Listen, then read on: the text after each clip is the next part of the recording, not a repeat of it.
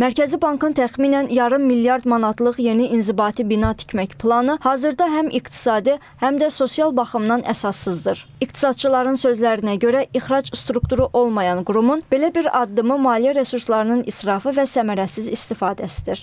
E, Mərkəzi Bankın e, bahalı bina tikməsi ilə əlaqədar vəziyyəti əsaslandırarkən elan etdiyi ki, son 3 e, il ərzində dövlət büdcəsinə 7,8 milyard manatlıq vəsait köçürülüb. Burada bir qədər anlaşılmazlıq var, daha doğrusu dəqiqləşdirməyə ehtiyac var.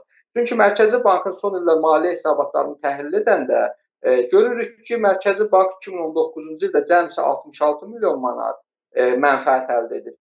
2018-ci ildə və hətta 48 milyon manatlıq zərərə gedir. Yəni Mərkəzi Bankın son dövrlərdə dövlət büdcəsinə ödədiyin elan etdiyi pulun mənbəyi əslində dövlət neft fondundan götürülmüş vəsaitlərin geri qaytarılmasıdır və bir də Mərkəzi Bankın həmin dövrdə e, valyutanın bahalaşmasından əldə etdiyi qazancdır. Yəni Mərkəzi Bank e, e, nə ixrac strukturudur ki, e, əlavə və qazanc əldə edilsin və vəsait əldə edilsin. Əksinə Mərkəzi Bank çox cüzi şəkildə mənfəət əldə edir və e, hazırdakı hazırda nəzərdə tutduğu binanın tikintisi üçün Mərkəzi Bankın cari fəaliyyətindən bəlkə də 10 illərlə mənfəət əldə etməsi bu qaydada lazımdır ki, Mərkəzi Bank e, bu binanı tiksin. Bu çərçivədə e, neftdən, neft ixracından formalaşan gəlirləri sırf bu e, daş, beton və binaya həsr etməklə ümumiyyətlə resursların indiki məqamda e, pis formada xərclənməsinə nümunə olur.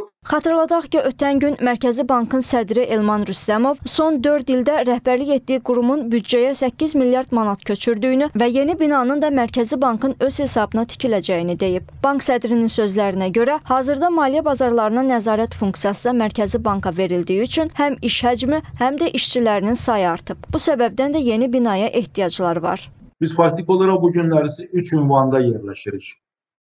Deməli, e, Bülbül e, deməli bizim köhnə binamız, yeni binamız və bəlkə heç kim bilmir, bizim pul təsərrüfatımızın, xəzinəmizin böyük bir hissəsi Nərimanov rayonunda bir qalanda yerləşir və hansı ki, bütövlükdə nə fiziki tələblərə, nə də ki, deyərdim ki, hətta müəyyən dərəcə təhlükəsizlik tələblərinə. Çünki Mərkəzi Bankın xəzinəsinin böyük bir hissəsi Mərkəzi Bankdan bu günlərsi kənardadır. Təbii ki.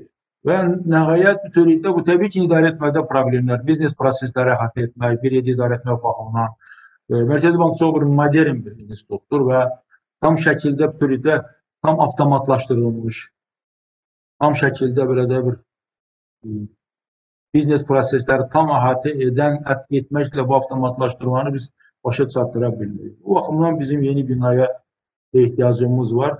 Qeyd edək ki, Mərkəzi Bankın Heydər Əliyev prospektində tikintisi planlaşdırılan yeni binası 37 mərtəbədən ibarət olacaq. Tikintini Türkiyənin Tekfen İnşaat şirkəti həyata keçirəcək. Binanın tikintisinə 218 milyon avro vəsait ayrılacaq.